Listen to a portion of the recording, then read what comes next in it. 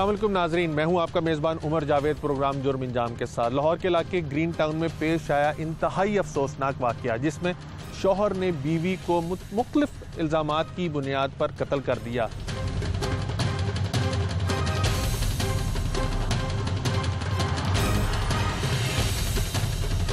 सिर्फ़ बीवी को नहीं, बल्कि उसके दो बच्चों को भी इंतहाई बेदर्दी से कत्ल कर दिया। क्या पुलिस ने मुलजिम को गिरफ़्तार किया? मुलजिम ने किन वजूहत की बिना पर औरत को, यानी अपनी बीवी को और उसके बच्चों को कत्ल किया? माहिर नफ्सियात और इंसानी हकूक़ के लिए काम करने वाले लोग इस मुलजिम के बारे में और इसकी जहनीत के बारे में क्या कहते हैं और क्या पुलिस मुलजिम को सज़ा दिलवाने में कामयाब होगी, ये तमाम चीज़ें जानेंगे आज के प्रोग्राम जुर्म इंजाम में।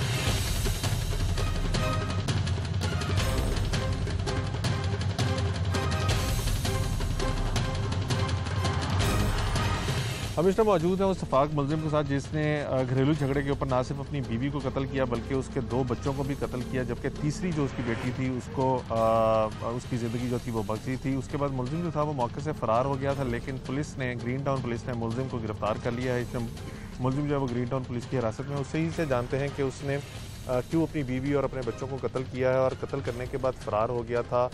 सारा प्लान इसने कैसे बनाया और वजह क्या बनी और कितना अर्सा पहले इसकी शादी हुई थी तमाम चीज़ें इसी से जानते हैं तुम्हारा नाम क्या? मोहम्मद आशिक। क्या करते हो आशिक तुम? मिस्त्रियों का काम करना बिल्डिंग मटीरियल कहाँ पे? जितने भी काम ला बजे अच्छा। किसको तुमने कत्ल किया? अपनी बीवी को कत्ल किया। पहली बीवी थी? नहीं दूसरी। पहले भी शादी हुई थी तुम्हारी? हाँ जी पहली भाग गई थी बच्चे लेके वो कितने बच्चे थे उसमें से? उसके तीन बच्चे चार बेटियाँ।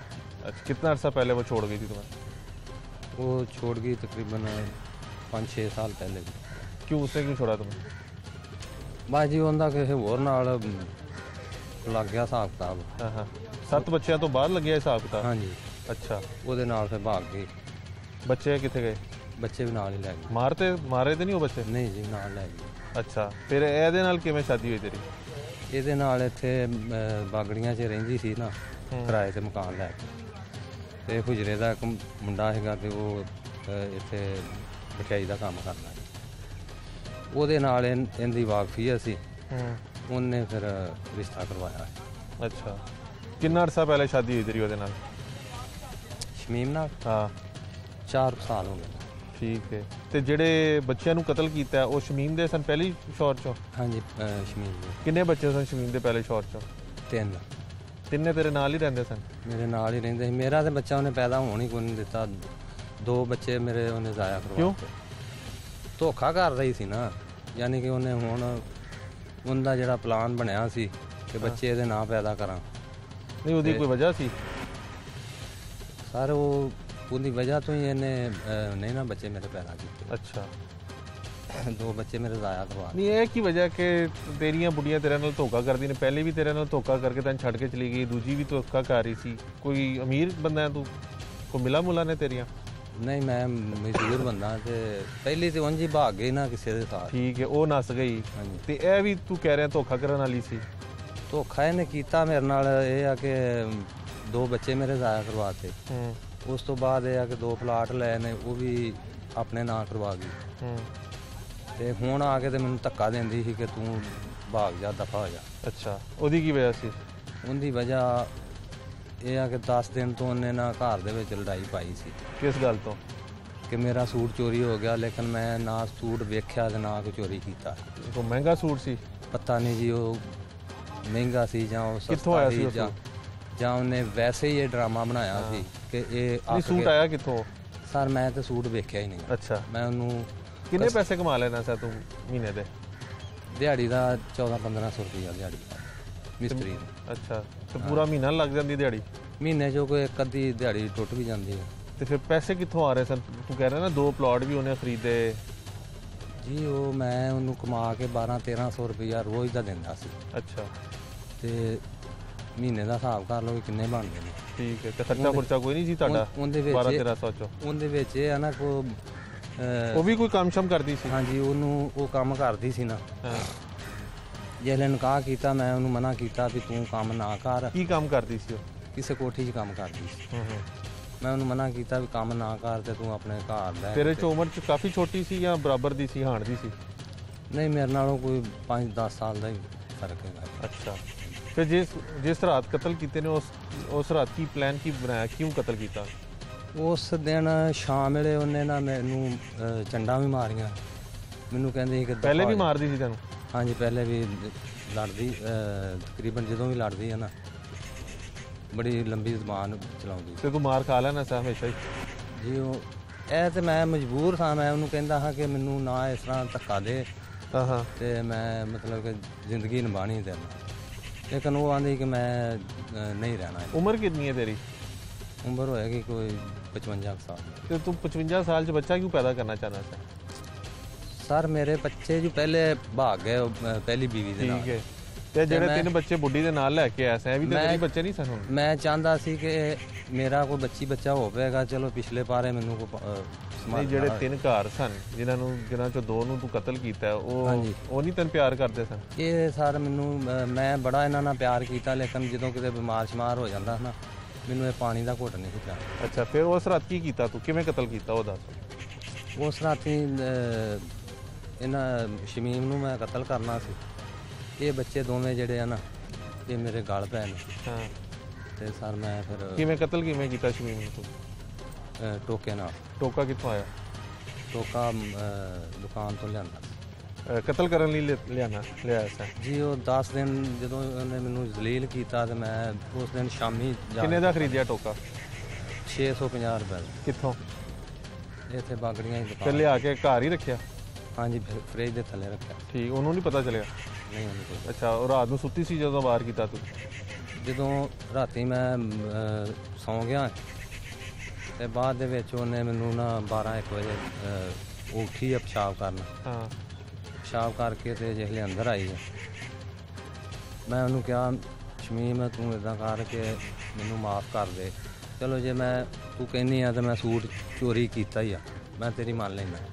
ਲੇਕਿਨ ਇਹ ਆ ਕਿ ਮੈਂ ਕੀਤਾ ਨਹੀਂ ਤੇ ਤੈਨੂੰ ਮੈਂ ਸੂਟ ਹੋਰ ਲੈ ਦਿਆਂਗਾ। ਜਿਹੋ ਜਿਹਾ ਵੀ ਤੇਰਾ ਹੈਗਾ ਸੀ ਨਾ ਉਹਦੇ ਨੂੰ ਮਹਿੰਗਾ ਲੈ ਦਾਂਗਾ ਤੇ ਇਹ ਆ ਕਿ ਘਰ ਦੇ ਵਿੱਚੋਂ ਕਿਲ ਕਿਲ ਖਤਮ ਕਰ। ਉਹਨੇ ਐਡੀ ਲੰਮੀ ਜ਼ਬਾਨ ਕੱਢੀ ਮੈਨੂੰ ਗਾਲਾਂ ਕੱਢਣ ਲੱਗ ਪਈ ਮੇਰੇ ਮਾਂ ਪਿਓ ਨੂੰ। ਉਸ ਟਾਈਮ ਉਹਨੇ ਮੇਰੇ ਦੋ ਚੰਡਾਂ ਫੇਰ ਮੂੰਹ ਤੇ ਮਾਰੀਆਂ। ਅੱਛਾ। ਸਰ ਜਦੋਂ ਉਹਨੇ ਇਹ ਕੰਮ ਕੀਤਾ ਫਿਰ ਮੈਂ ਮਜਬੂਰ ਹੋ ਕੇ ਗੁੱਸੇ 'ਚ ਆ ਕੇ ਤੇ ਕੰਮ ਕੀਤਾ। ਉਹਨੂੰ ਕਤਲ ਕਰਤਾ। ਹਾਂਜੀ। ਤੇ ਫਿਰ ਬੱਚਿਆਂ ਨੂੰ ਕਿਉਂ ਮਾਰਿਆ? ਬੱਚੇ ਮੇਰੇ ਗਾਲ ਪੈ ਤੇ ਬੱਚਿਆਂ ਨੂੰ ਫਿਰ ਮਾਰਤਾ। ਤੇ ਤੀਜਾ ਇੱਕ ਹੋਰ ਬੱਚਾ ਸੀ ਉਹਨੂੰ ਕਿਉਂ ਛੱਡਿਆ? ਸਰ ਉਹ ਮੇਰੇ ਅਹ, ਕੋਲ ਹੀ ਮੰਜੀ ਤੇ ਪਈ ਸੀ ਛੋਟੀ ਬੱਚੀ। ਉਹ ਪਈਆਂ ਰਹੀਆਂ ਨੇ ਵੱਡੀ ਜਿਹੜੀ ਆ ਮੇਰੀ ਸਾਲੀ ਦੀ ਧੀ ਸੀ। ਹੂੰ। ਉਹ ਵੀ ਪਈ ਸੀ ਉਹਨਾਂ ਨੂੰ ਮੈਂ ਕੁਛ ਨਹੀਂ ਆਖਿਆ। ਹੂੰ। ਇਹ ਮੇਰੇ ਗਾਲ ਪੈ ਉਸ ਤੋਂ ਬਾਅਦ ਕਤਲ ਕਰਕੇ ਤੂੰ ਫਰਾਰ ਕਿੱਥੇ ਹੋਇਆ? ਕਿੱਥੇ ਗਿਆ? ਮੈਂ ਬਾਅਦ ਵਿੱਚ ਮੰਗੇ ਚਲਾ ਗਿਆ ਸੀ। ਪੁਲਿਸ ਨੇ ਕਿਵੇਂ ਫੜਿਆ ਤੈਨੂੰ? ਮੈਂ ਬਾਹਰ ਨਾ ਜਿਹਲੇ ਮਲਤਾਨ ਰੋਡ ਤੇ ਨਿਕਲਿਆ। ਉਸ ਟਾਈਮ ਫਿਰ ਪੁਲਿਸ ਵਾਲਿਆਂ ਨੇ ਤਿੰਨ ਦੋ ਬੱਚਿਆਂ ਨੂੰ ਤੇ ਆਪਣੀ ਬੀਵੀ ਨੂੰ ਤੂੰ ਕਤਲ ਕੀਤਾ। ਕੋਈ ਇਨਸਾਨੀਅਤ? ਬਸ ਜੀ ਮੈਂ ਬੱਚੇ ਤੇ ਮਾਸੂਮ ਸਨ ਉਹਨਾਂ ਦਾ ਕੀ ਕਸੂਰ ਸੀ? ਬੱਚੇ ਮੇਰੇ ਜਦੋਂ ਗਲ ਪਏ ਨੇ ਤੇ ਉਹ बस वो उस टाइम मैंने नहीं समझ लगी आप मुलजिम के चेहरे के तसर देख सकते हैं। ये कोई आम इंसान नहीं है, इसने अपनी बीवी को कत्ल किया, उसके बाद दो बच्चों को कत्ल किया। एक की उम्र तकरीबन 16 साल बताई जाती है और एक की उम्र गालबन सात आठ साल थी, तेरह चौदह साल। एक बच्ची जो थी वो ज़िंदा बच गई है, उसको कैसे इसने छोड़ा ये अल्लाह ही जानता है। इंचार्ज इन्वेस्टिगेशन मखसूस साहब हमारे साथ मौजूद हैं। इनके इलाके में इंतहा से ज़्यादा इसी तरह के वाक़ात होते हैं। कभी बच्चे को ज़्यादा के बाद कत्ल कर दिया जाता है, कभी और बीवी जो है वो आशना के साथ मिलकर शोहर को कत्ल कर देती है। कभी शोहर जो है वो बीवी को कत्ल कर देता है। इनसे जानते हैं कि कोई असेब वगैरह इनके इलाके में क्या चक्कर है। मखसूस है भी आपके इलाके में इसी किस्म की वारदातें क्यों होती हैं? क्या वजह क्या है? एक्चुअली ये लोग जो हैं बहुत गरीब लोग होते हैं। ये जो ये बागड़ियाँ साइड ये सारे दीपालपुर कड़े के लोग हैं गरीब लोग हैं छोटी छोटी बातों पे झगड़े करते हैं और एक दूसरे को कत्ल कर देते हैं। अभी हाल ही में आपके पास हम आए थे तो बीवी ने आशना के साथ मिलकर शोहर को कत्ल कर दिया था। फिर उसके बाद मोहल्लेदार ने बच्चे अपने मोहल्लेदार बच्चे के साथ ज़्यादती की उसको कत्ल कर दिया उसमें भी आपने तीन मुलजमों को पकड़ा। ये कोई माइंड सेट है कि छोटी छोटी बात पे यहाँ पे कत्ल कर देते हैं? गुर्बत की वजह से किसी को कत्ल करना तो समझ से बाला तर है। अब ये वाल इस केस में तो गुर्बत भी नहीं है वो कहता दो प्लॉट खरीदे हुए थे। जो पहला केस था रूबी वाला वो भी दीपालपुर कड़े के रहने वाले थे। अच्छा। तो उनकी स्टोरी जो आपको मैंने सामने मीडिया के सामने बयान कर दी, उनको भी गिरफ़्तार किया और वाला जुडिशल भेज दिया।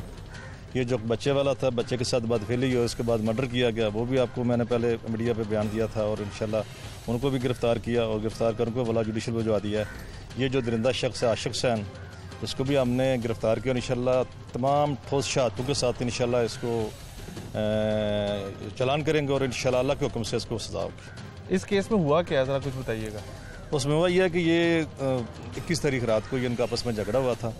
झगड़े के बाद ये कहता है कि मुझे अब अक्सर गाली गलोच करती थी बदतमीजी करती मेरे वालदेन फोत हो चुके उनको गाली वगैरह देती थी मैं ये बर्दाश्त नहीं कर सकता था। और नंबर टू जो मेरे मैंने कोशिश की कि मेरे बच्चे पैदा हो जाएँ उस का के अमल ज़ाया करा देती थी इस बात का मुझे रंज था। और इसने प्लान के मुताबिक टोका ख़रीदा टोका ख़रीद के उसको उनको रात को दर्दी से कत्ल कर दिया। ठीक है। कत्ल करने के बाद ये कहाँ गया? कत्ल करने के बाद ये चला गया था मांगा मंडी। ठीक है। वहाँ पे जाकर उसने अपना अलग कत्ल छुपा दिया और अपने कपड़े वगैरह जाकर छुपा दिए। आला कत्ल वगैरह इसे बरामद हो गया? इन ये वापसी रिमांड पे है। इनशाला ये अलग कत्ल भी बरामद कर लेंगे और जो वो कपड़े खून आलूद थे वो भी बरामद कर लेंगे। जो एक बच्ची जिसको इसने छोड़ा उसको छोड़ने की क्या वजह ये बताता है कि एक उस शमीम की एक पीछे से लाई हुई बच्ची थी और एक उसकी बहन की बेटी थी। उन दोनों को क्यों नहीं कतल किया इसने? मैंने उससे पूछा था उसका नाम है गलबन शमसा नाम था। बच्ची का? बच्ची का नौ दस उम्र बहुत एक्टिव बच्ची थी। हाँ हाँ। मैंने बेटा आपको उसने क्यों छोड़े आशुक को? उन्हें अंकल मैंने उससे हाथ जोड़ा उसने मुझे माफ़ कर दिया मुझे कुछ नहीं कहा। और उसके अलावा शमसा के अलावा भी कोई और एक, एक लड़की इसकी साली की लड़की थी। उसने कहा ना मैंने मजामत किया ना वो मेरे नज़दीक है ना उसने मुझे छड़ ना ही मैंने उससे बात वगैरह की ना उसने मुझे मारा तो ये जो प्लॉट वगैरह बताता है कि इसने प्लॉट वगैरह लिए हुए थे और ये चाहता था कि उसका वारिस हो ये क्या स्टोरी है प्लाट क्या था मैंने लिए थे किस्त पे प्लाट लिए थे जो जराशा मकीम वाला प्लाट है वो उसको मैंने क्लियर कर दिया जो दूसरा प्लाट उसकी अभी नब्बे हज़ार रुपये किस्तें देनी है इंसान की कोशिश तो ये होती है चलो हम ज़िंदगी में कुछ अपना मकाम बना लें लेकिन इनकी घरेलू नचाकी की वजह से ये तमाम मामला गड़बड़ हो गया और उस शरीफ आदमी ने उनको मर्डर कर दिया बहुत शुक्रिया इंचार्ज इन्वेस्टिगेशन की आप गुफ्तु सुन रहे थे। इस इलाके में इनके मुताबिक जितना भी लोग रह रहे हैं, एक तो वो बहुत ही ज़्यादा पुवर्टी लाइन से नीचे ज़िंदगी गुजार रहे हैं। सेकेंडली दूसरे शहरों से आके यहाँ पे रह रहे हैं और छोटी छोटी बात के ऊपर तैश में आ जाते हैं और जान ले लेते हैं। और इस सफाक मुलजिम ने भी, दरिंदा सिर्फ़ ने भी मामूली बात, सूट चोरी हुआ था इसकी बीवी का, जिसके ऊपर वो इससे पूछ रही थी और इनका उस रात झगड़ा हुआ और इसने पहले से प्लानिंग की हुई थी। जैसे इसने खुद भी बताया कि जो टोका था जिससे जानवर को ज़िबा किया जाता है, उसका गोश्त बनाया जाता है, वो टोका साढ़े छः सौ रुपये का खरीद के घर में रखा हुआ था और रात को जब इसको मौका मिला तो पहले बीवी को कत्ल किया, उसके बाद उसके जो दो बच्चे थे उनको कत्ल कर दिया। तीसरी बेटी घर में मौजूद थी। इंचार्ज इन्वेस्टिगेशन के कहना है कि उस बच्ची ने इससे मिनत समाजत की, जिसके बाद उसने उसकी जान बख्श दी।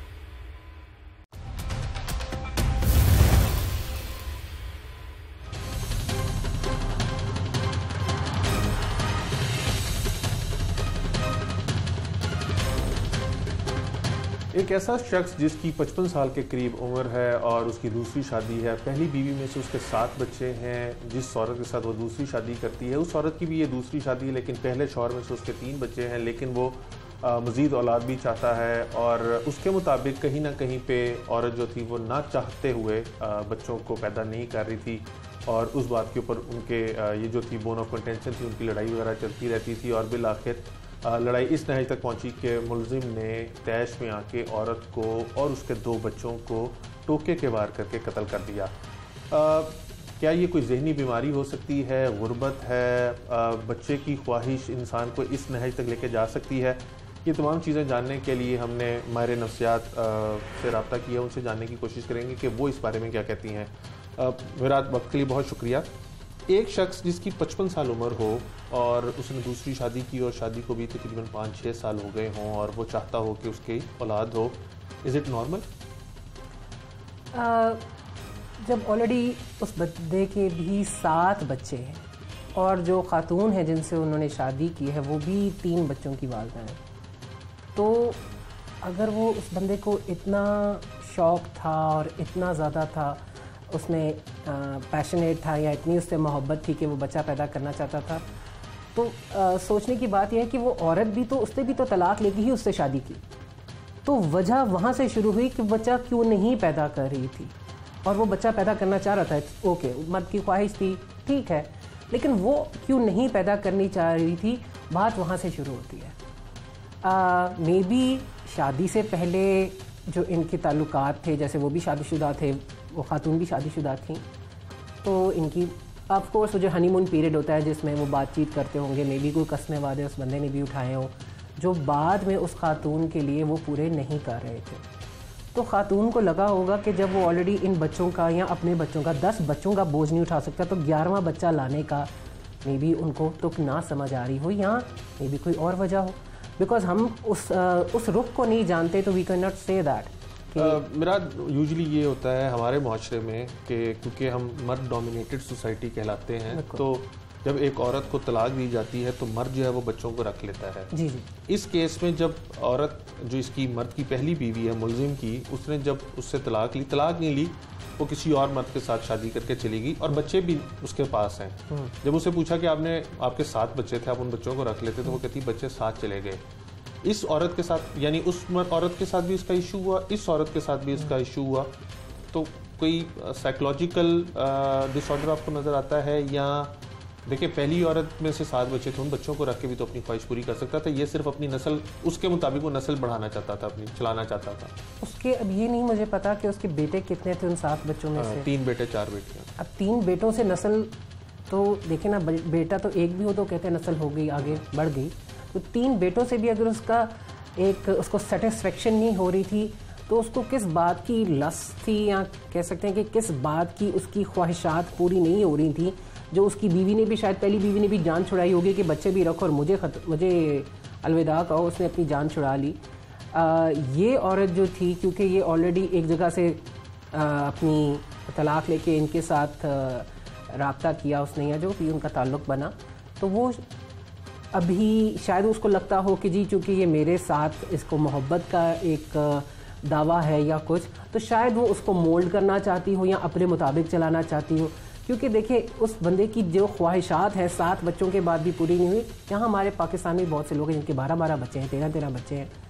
लेकिन बनता ये है कि वो फैक्टर हो सकता है। गुर्बत भी देखिए there are lots of factors एक बायोलॉजिकली अगर हम देखें तो उसकी बीमारी भी क्यों हो सकती है? जो अभी तक पोशीदा है। अभी तक हमने उसको प्रोब नहीं किया।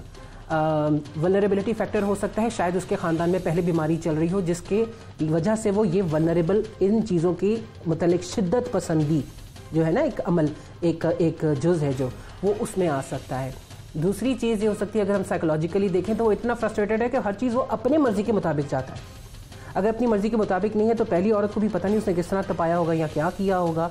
कि वो छोड़ के भाग गई। देखिए भाग गई बच्चे इतने सात बच्चे छोड़ के भाग गई तो देर इज़ समथिंग लेके भाग गए लेके भाग गई ठीक है? लेके भाग गई तो कुछ तो फैक्टर है ना। अच्छा अब जब वो इधर आता है इधर भी उसने मोहब्बत इतनी जताई जो भी किया उस बंदी ने भी चार साल गुजार दिए। अगर चार साल किसी के साथ गुजर गए हैं तो बाद में इतनी शिद्दत पसंदी आना कि बंदा एक इस पे कह दे कि जी बच्चा वो नहीं करती थी या मेरी नस्ल नहीं आगे बढ़ा रही थी।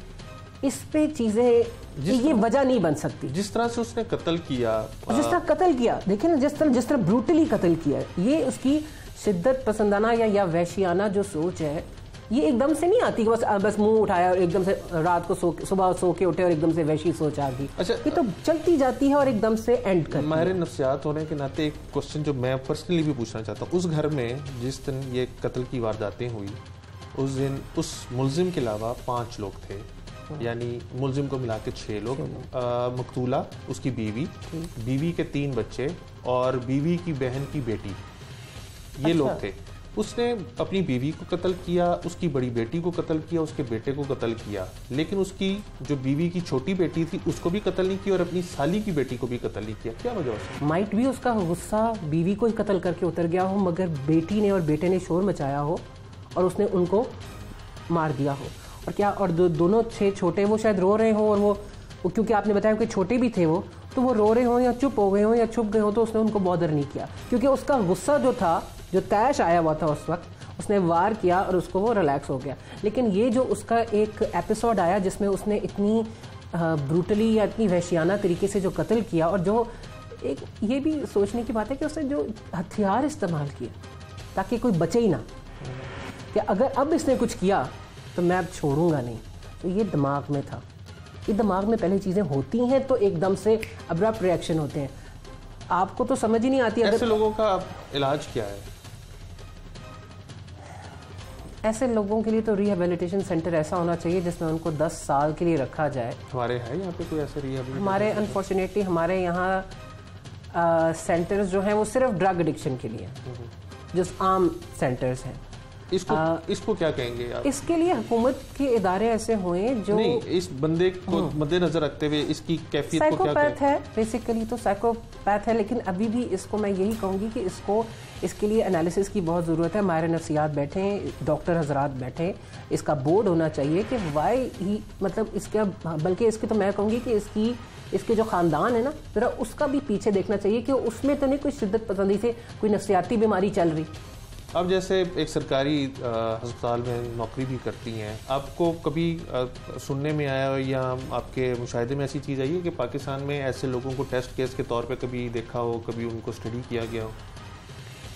लोग देखें फोरेंसिक केसेस आते हैं ये Punjab institute of mental health में आते हैं मेयो अस्पताल से भी डॉक्टर हजरात जाते हैं उनके मेडिको लीगल उनके बोर्ड बैठते हैं। ये बताने के लिए कि whether they are mentally capable of doing jobs और अ, किस कंडीशन में उन्होंने कोई अमल किया चोरी डकैती या कत्ल या कुछ भी ऐसी वारदात की। लेकिन ऐसे लोग जो इतने जो मानवीर हैं जिनके खिलाफ हमें सारी चीज़ें मिल गई हैं उनका बहुत ज़्यादा एक्सटेंसिव उनको रिहेबिलिटेशन की ज़रूरत होती है। और मेरे ख्याल में ये लोग जो है सिर्फ़ अपने लिए दूसरों के लिए नुकसानदेह नहीं होते। कोई ऐसा भी वक्त आएगा जिसमें ये अपने लिए भी नुकसानदेह हो जाएगा।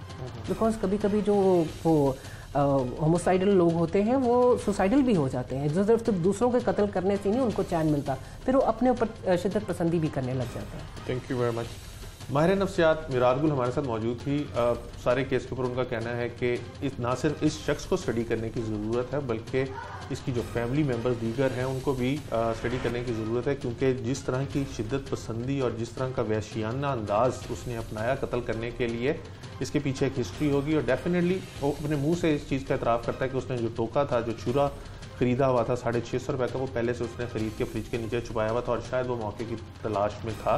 और ये जो फ्रस्ट्रेशन थी जो उसने अपनी बीवी को कत्ल करके और उसके बच्चों को कत्ल करके निकाली, ये काफ़ी टाइम से पनप रही थी, लेकिन सिर्फ़ एक मौके की वो तलाश में था और उस दिन सूट का चोरी होना औरत ने मौका दिया और उसके बाद उसने जो उसकी ख्वाहिश थी वो उसने पूरी कर डाली।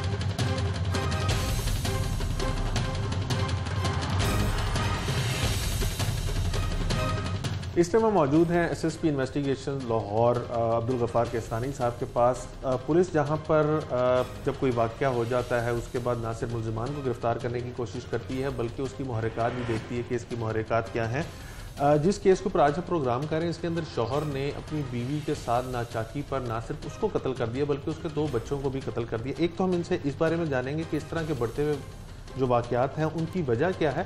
दूसरा जिस इलाके में ये वाक़ हुआ है ग्रीन टाउन सदर डिवीज़न का एक थाना है इस डिवीज़न में बहुत ज़्यादा कत्ल गारत होती है कत्ल के वाक़यात जो हैं वो बहुत ज़्यादा इस डिवीज़न में रोनमा होते हैं इनसे जानते हैं।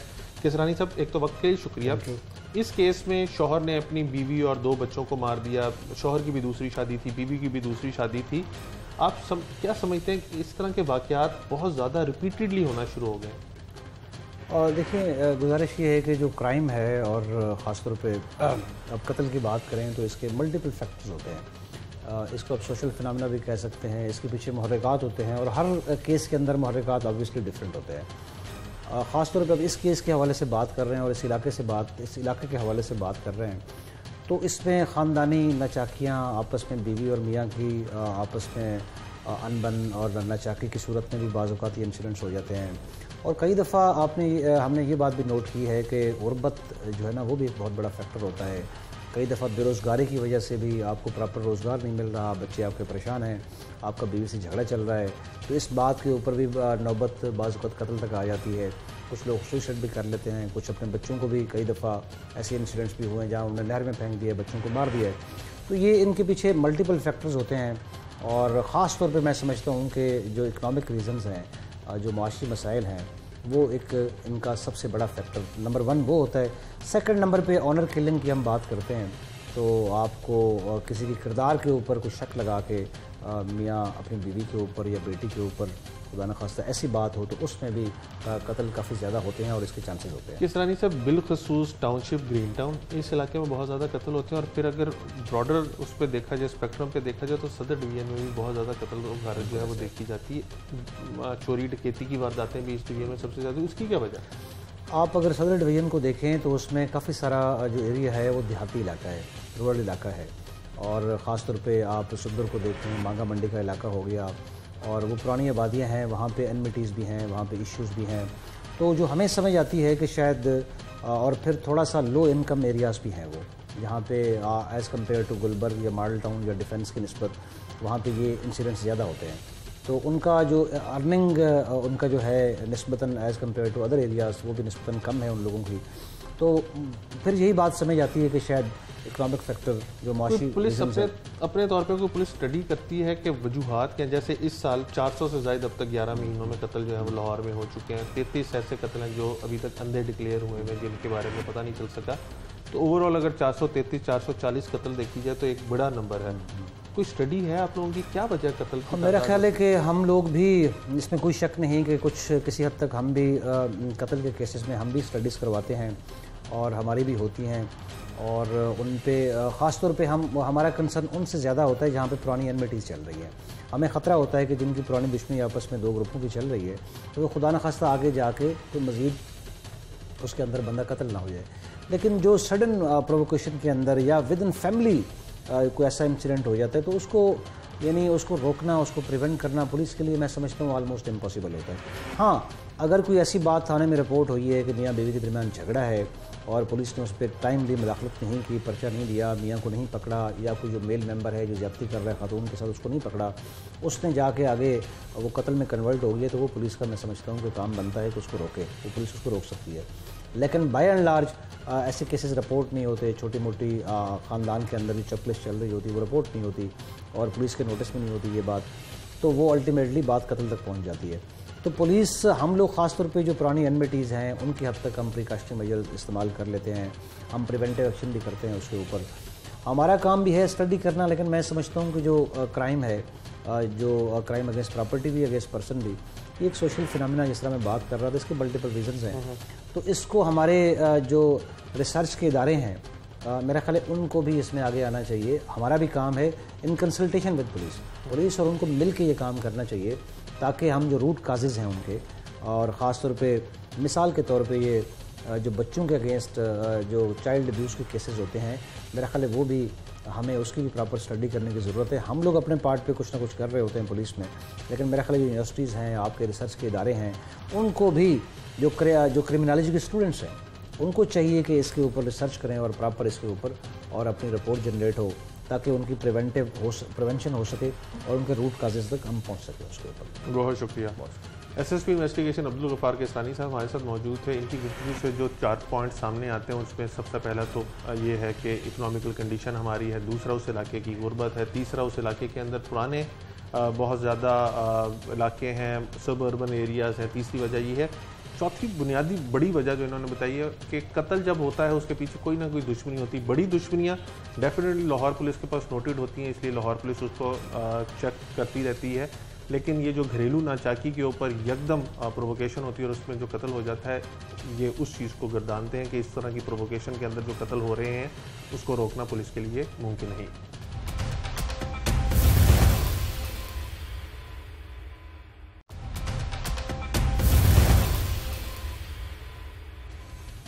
जिस बेदर्दी से शौहर ने अपनी बीवी और उसके दो बच्चों को कत्ल किया उसके अंदर ना सिर्फ़ सफाकियत है बल्कि फ्रस्ट्रेशन की भी इंतहा नज़र आती है। आ, पाकिस्तान में इंसानी हकूक़ के लिए काम करने वाली सबिहा शाहीन हमारे साथ इस मौजूद हैं। उनसे जानते हैं कि डोमेस्टिक वायलेंस पाकिस्तान के अंदर बड़ा आम था।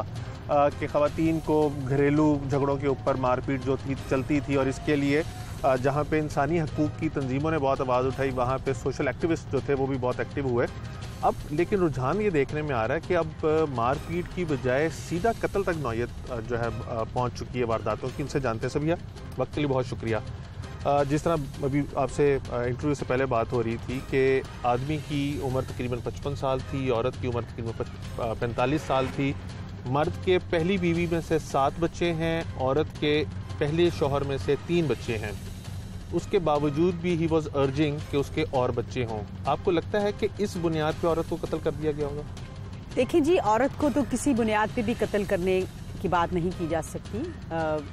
ज़ाहिर है किसी भी इंसान को कत्ल करने की कोई बुनियाद नहीं होती और किसी भी इंसान के पास ये ना हक होता है, ना इख्तियार होता है और ना ही उसको मिलना चाहिए कि वो किसी दूसरे इंसान को कत्ल करे। जहाँ तक आपने बात की कि हमारे यहाँ रुझान हमेशा से है डोमेस्टिक वायलेंस का।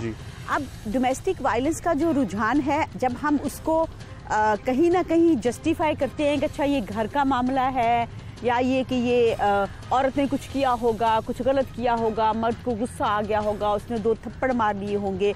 तो फिर देखिए जहाँ आहिस्ता आहिस्ता सोसाइटी के अंदर एक अदम बर्दाश्त जो है वो हमारी बढ़ती जा रही है वहीं पे इस अमल को लेके भी अब मर्द समझते हैं कि ठीक है हम मारेंगे उसके बाद हम ऑनर किलिंग में जाएँगे और हम बरी होके आ जाएँगे। ये तो बड़ा आसान है ना बीवी को मारा बहन को मारा। Killing on the name of honour हो या किसी डिस्प्यूट के ऊपर मारना तो कत्ल करना तो वैसे ही। इस्लाम में और भी और हमारे तो कानून में वैसे भी ऑनर किलिंग के लफ्ज से इख्तलाफ करती हूँ। कोई कत्ल किसी कत्ल किसी मौत के पीछे कोई ऑनर नहीं हो सकता। और लेकिन वही बात है ना मर्दों को एक मिल गई है इस बात पे जस्टिफिकेशन मिल जाती है सपोर्ट मर्दों को ये स्पोर्ट क्यों मिल गई? हमारे ना तो कानून में है ना ही हमारे इस्लाम में। लेकिन जी अभी कानून के अंदर कुछ तब्दीलियाँ आ रही हैं। बहुत देर तक कानून के अंदर इनफॉर्मली ये बिल्कुल होता था जब ऑनर किलिंग मतलब इस तरह का केस बना के जाते थे। तो हमारे जज साहबान जो हैं हमारे वकील हमारे पुलिस सारे के सारे मर्द हैं। अनफॉर्चुनेटली सारे मर्द हैं। और वो जो उनकी एक मर्दाना सोच है, इसके पीछे देखिए एक बड़ी लंबी कहानी होती है, जो हमारा पूरा निज़ाम है। उस निज़ाम के अंदर चूँकि मर्दों को एक ख़ास तरह की बर्तरी हासिल है, हम इससे इनकार नहीं कर सकते। यहाँ पे फिर इंसानी हकूक की तंजीमें, जैसे आप इंसानी हकूक के लिए काम कर रही हैं, फिर आप लोगों का यहाँ पे किरदार शुरू होता है। आप लोग क्या कर जैसे इस औरत को अच्छा इस औरत के तीन बच्चे थे, जैसे मैंने आपको बताया। दो को कत्ल कर दिया एक बच्ची रह गई जिसकी उम्र सात आठ साल है और उसने अपने सामने तीन अफराद, अपनी माँ को और अपने बहन भाई को कत्ल होते देखा है। उसकी तो पूरी ज़िंदगी बच्ची की बर्बाद होगी और वो रह भी अकेली गई। तो आप लोग क्या कर रहे हैं कि इस किस्म के जो वाक़यात बढ़ते जा रहे हैं डोमेस्टिक वायलेंस की एक सवियर किस्म की फॉर्म देखने में आ रही है? और ये हो भी ज़्यादातर मिडिल क्लास और लोअर मिडिल क्लास और पुअर क्लास में हो रहे क्या वजह है? आप लोग क्या कर एक बात बताऊँ वैसे तो ये सारी क्लासों में होता है। इस एक खास चीज़ के अंदर आके कोई क्लास बेहतर नहीं है। देखिए हम क्या कर रहे हैं? जो हमारा रोल है या जो बहुत सी ह्यूमन राइट्स ऑर्गेनाइजेशंस हैं या जो ह्यूमन राइट्स डिफेंडर्स हैं ह्यूमन राइट्स एक्टिविस्ट हैं उनका रोल होता है कि वो लोगों को अवेयरनेस दें। क्राइम को रोकना तो हमारा काम नहीं है। ये काम है रियासत का। और हमारी लेजिस्लेशन का। इस तरह के मामला के ऊपर एक तो ये है कि अब आप बात करें वायलेंस की और डोमेस्टिक वायलेंस की या वीमेन वायलेंस की। पंजाब के अंदर काफ़ी बेहतर काम हुआ, माजी में भी हुआ, अभी भी हो रहा है। पंजाब के अंदर सेंटर बने, फिर ये है कि इस तरह की लेजिस्लेशन हुई। मैं नहीं कहती कि बहुत अच्छी है, लेकिन चलें लेजिस्लेशन हुई, एक काम का आगाज़ हुआ। ये काम है। उसके बाद जैसे जो हमारा काम है, हमारे जैसे लोगों का काम है, अदारों का काम है हम भैया अपना काम काफ़ी बेहतर तरीके से कर रहे हैं। हम लोगों को अवेयरनेस देते हैं जो लॉ आता है उसके बारे में बताते हैं। हम हम औरतों को जो है उनको इकोनॉमिकली एम्पावर करने की कोशिश करते हैं। हम उनको बताते हैं कि भाई आपके बराबर के हकूक़ हैं और उसके बदले में आपको भी पता है और हमें भी पता है कि हमें क्या क्या कहा जाता है। हमें कहा जाता है हम ख़राब करने वाले औरतों को हैं हम तलाक़ें ज़्यादा कराने वाले हैं। हम यही बात करते हैं। कुछ मामला के अंदर ऐसे होता नहीं है किसी भी मामला के अंदर नहीं होता। हमारा किसी भी किसी भी एक भी इदारे का। आपके ऊपर तंज किया जाता है या क्रिटिसाइज किया जाता है वो कुछ मामलात में है। लेकिन हाँ। उनमें एक मामला ये भी होता है कि हम औरतों को बताते हैं कि आप बराबर के इंसान हैं। हम उनको यही बताते हैं कि आप बराबर के इंसान हैं और आप बराबर के शहरी हैं। एक शहरी होने के नाते अगर एक औरत बच्चा पैदा नहीं मान लिया अगर फॉर फॉर द टाइम भी हम ये मान लेते हैं कि मुलजिम की ये प्ली कि वो बच्चा पैदा नहीं कर रही थी और बार बार बच्चा जो था उसको ज़ाया कर देती थी। इस बात के ऊपर कत्ल करना एक बतौर इंसानी हकूक की आप देखिए मैं तो पहली बात ही की है कि किसी के ऊपर भी नहीं। इसके ऊपर तो बिल्कुल नहीं है। देखें एक खातून है अगर उसके तीन बच्चे पहले हैं और एक मर्द है, उसके सात बच्चे पहले हैं तो उनको तो वैसे नहीं सोचना चाहिए जो हमारे हालात हैं पॉपुलेशन के। उसके बाद अगर वो औरत है, मुझे नहीं पता, मैं आपको ये भी बताती चलूँ कि इसके पीछे कितनी हकीकत है। मैं आपको ये, हो सकता है ये भी कहानी गढ़ ली गई हो कि वो बच्चा पैदा करना चाहता था और वो नहीं पैदा करना चाहती थी, इस पर मार लिया गया। क्योंकि इस तरह की बहुत सी कहानियाँ बाद में आ जाती हो। सकता है पीछे बिल्कुल कोई और कहानी हो, या उसका दिमाग खराब हो, या उसको, देखिए, असल बात ये होती है कि जब मर्दों को ये खौफ नहीं होता कि हम कानून की गिरफ्त में आएँगे और हमें सजा मिलेगी। तो वो बेधड़क ये काम कर लेते हैं। औरतों के खिलाफ जितने वाकयात बढ़ रहे हैं और रवा साल कोरोना वायरस के अंदर जहाँ पर आ, मर्दों को भी थोड़ा सा वायलेंस हुआ है लेकिन जहाँ पे औरतों पर वायलेंस के वाकयात बहुत बड़े हैं उनके साथ कत्ल रेप हरासमेंट के केसेस बड़े हैं। इनमें जो मुलजिम पकड़े जाते हैं उनको सजा दिलवाने में आप लोग कोई किरदार अदा करते हैं कि यू गैस इंश्योर जी बहुत सी तंजीमें हैं जो इस तरह के लीगल एड देती हैं। अगर औरतें जो हैं पता चले उनको तो वो बिल्कुल उनको लीगल एड देती हैं वकील मुफ़्त करके देती हैं। और इस देखें और इससे बड़ी अहम बात है जो शायद हमारा रोल बनता है हम एक माशरे के अंदर एक अवेयरनेस के साथ साथ ये बात भी कंपेन चलाते हैं। आप अक्सर देखेंगे ये खदीजा केस था सोशल मीडिया के ऊपर बहुत कंपेन चली कि उसको इंसाफ मिलना चाहिए। इस तरह और भी जब औरतों के साथ इस तरह का जुल्म होता है तो हम हम सोशल मीडिया पे कंपेन्स करते हैं हम अदरवाइज़ भी ज़रूरत पड़े तो हम बाहर भी निकलते हैं। आपको सपोर्ट करती है?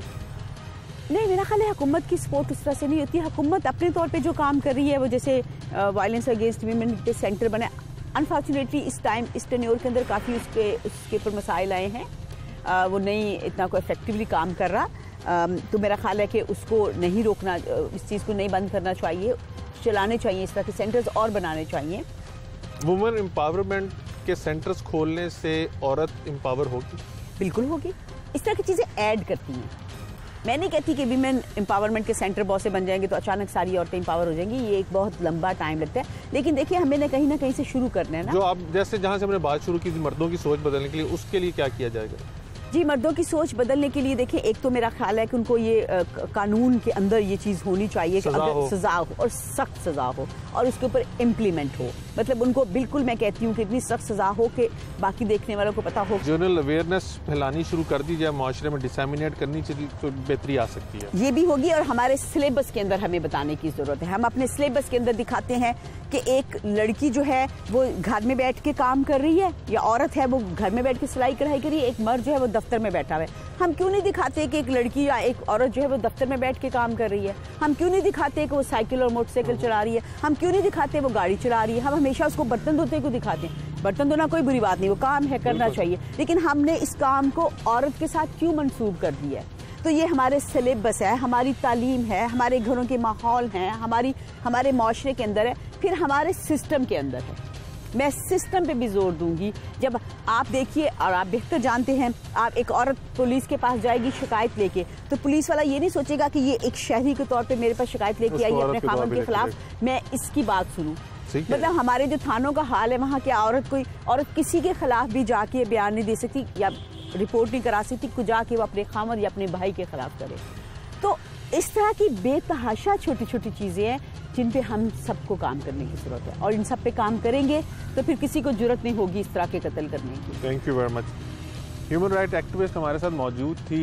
जिस चीज़ के ऊपर इन्होंने बहुत ज़्यादा एम्फोसाइज किया, वो यही है कि अगर कोई मर्द औरत के खिलाफ कोई जुर्म करता है और उसको उसमें सज़ा मिल जाए तो एक प्रेसिडेंट सेट हो जाएगा। और इस चीज़ से माशरे में इस तरह के वाक़ात जो हैं, वो होना कम हो जाएँगे।